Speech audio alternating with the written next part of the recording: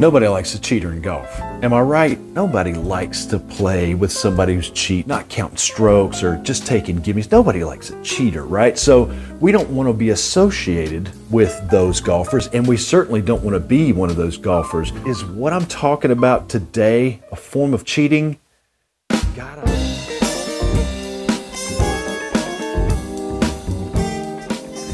Hey, everybody, and welcome back to Golf Test Dummy, the channel where I use my game to help your game.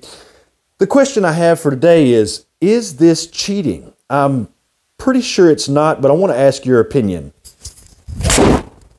Is it cheating to de-loft your clubs? Now, before you answer that with a hearty hell no, just hear me out. All right, a little bit of backstory. I have been participating in some debates online over the last couple of years in comment sections and on forums.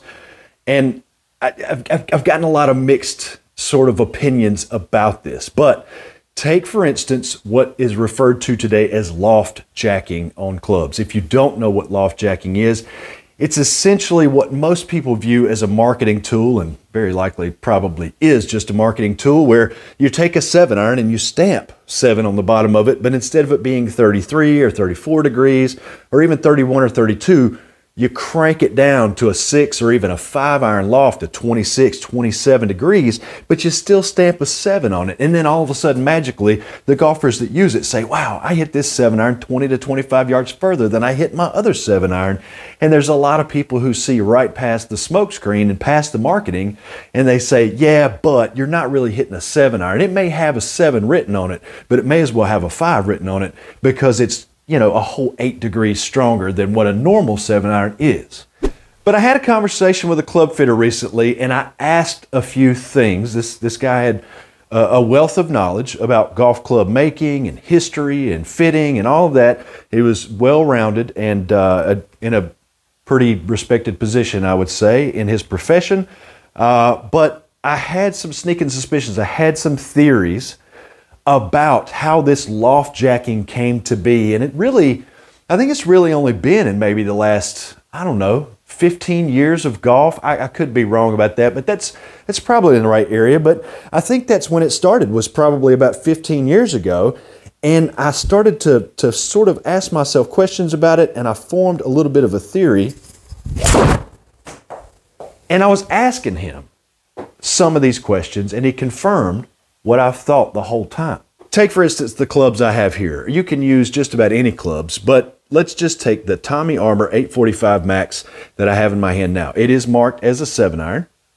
It is an undercut cavity. The loft on this club is 31 degrees. Now, the Tommy Armour 845 irons that I had that were not the max irons, but they were created in, I believe, 2019, and this is the 2021 version. So this is a couple of variations after that. Uh, but the 2019 versions that I had had a 27 degree seven iron. That is pretty strong loft jacking. That turns that into essentially a six iron or maybe even a five and a half iron by traditional standards. I'm not sure. But now this one is 31. And I had to ask myself, why would they add a whole four degrees of loft back to this club? That's an entire club's loft. Most club gapping is about four degrees between clubs.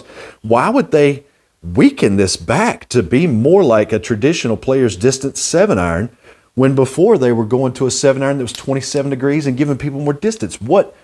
Why would they do that? And the answer, as I dug a little bit further in and started asking questions, lined up with what I'd been thinking for years. And I don't think the loft being cranked down was the original. I don't think that was patient zero or the start of the number line. I don't think that was the original thing that, that club makers started to do. What I think happened was they looked at golfers and they realized that they had trouble getting the ball up into the air, sometimes for a lack of speed, especially as you age, you get older, you slow down, you don't have the speed, or if you're just an amateur who doesn't understand all the dynamics to the swing, you just don't swing quite as fast. Unless you're really athletic or strong or, uh, you know, really just quick with your hands but they have trouble getting the ball into the air. It's why the hybrids and the tight lies came about. It's why all of those clubs came about is because they wanted to help golfers get the ball in the air. one of the main things that you enjoy as a young beginning golfer or an old beginning golfer, either one, is to see the ball take off in flight and soar into the sky and that little white ball disappear off into the blue it, it's just that's that's the magic right? That's the drug that keeps us coming back is that ball taking off in the air. But if you if you don't have the speed or the ability and you don't understand how to apply the club to the ball just yet you want to be able to get that ball up in the air still. So they started lowering the center of gravity. When you went from blades to cavity back irons, what they were doing was moving the weight that was in the central part of the club to the perimeter to not only enlarge the sweet spot, but also they started to add a little bit of weight toward the bottom because that lower center of gravity helps get the ball up into the air. Well, if you do that and you put the center of gravity on a, say, 33 degree 7 iron really low and you get good at it and you make the center of gravity really low to where it really helps you pop the ball up in the air, well, now it's going to go super high for that 33 or 34 degrees of loft, and it's not going to go anywhere. It's just going to pop up in the air and parachute back down. You're actually going to lose a little bit of distance and you'll get more spin on the golf ball, which is going to make it go shorter still. So, what was the solution? Well, we got to help them get it up in the air, but man, it's going so high now. Let's just crank down the loft. That was the theory that I had from a long time ago.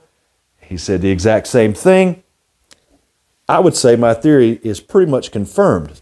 I need my launch angle to come down a little bit lower to actually give me more distance. I was looking for some help because I'm not really fast. I didn't increase all of it from just the tech that's built into the club and the forgiveness. I also increased it another way, which is why I asked the question A, is it cheating when they loft jack these clubs? Are you really kind of telling a fib or, or kidding yourself when you play those clubs? Is, is that something that makes you feel guilty? Do you feel guilty about that? Do you feel like that's against tradition? Do you feel like you can play that and still hold your head up high? The other thing that deals with delofting irons and delofting clubs in general has nothing to do with the actual equipment changing its engineering at all, but the golfer themselves. This is no secret. You've probably heard this before, but just in case you haven't, the pros are not delivering this seven iron back to the ball with its true loft. They are impacting this golf ball with the shaft of the club, the grip, well ahead of the ball, and they're delofting their clubs.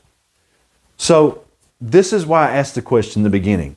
If the pros are taking a 34 degree 7 iron or a 32 degree 7 iron or whatever they have, and they're delofting that in how they present the club to the ball at impact. If they're delofting it themselves physically and creating a 26, 27, or whatever degree 7 iron at impact for them, is that not just the same since you don't present the handle ahead of the club face and you have the shaft pretty much sticking straight up and down because you're an amateur who doesn't have pro level skill, you're getting your equipment to do the work for you. Is that cheating?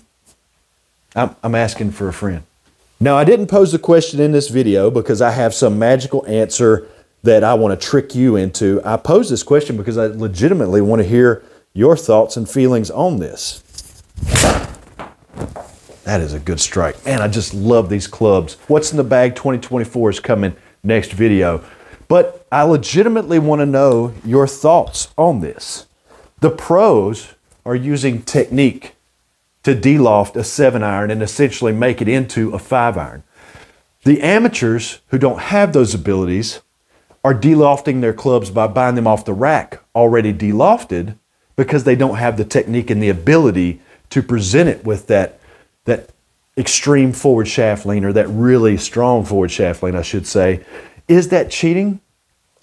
Is it any different than, say, the different drivers that they come out with. The pros would use like the LS version, the low spin version of a driver that has a differently shaped head, a smaller head, it's got less forgiveness. But we would probably choose a max version or a draw bias version so that it has max forgiveness and it actually helps straighten out the ball flight and we don't have to hit on center strikes all the time. Is that cheating? Is it different than delofted, pre delofted irons? I don't know. I don't really have all the answers. All I know is, is that I love hitting golf balls. I never get tired of it. I can never hit enough golf balls. And you know what? None of us will ever master this game. None of us are going pro.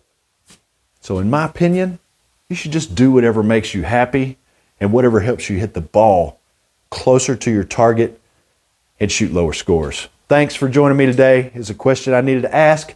What's in the bag is coming next week. I promise I'll film it for you guys. We'll go through the whole thing, the whole kit and caboodle. I'll give you the reasons why I chose the items that I did, why I've made the changes that I have, and why it's helping my game. And I have big expectations for 2024. See you next week.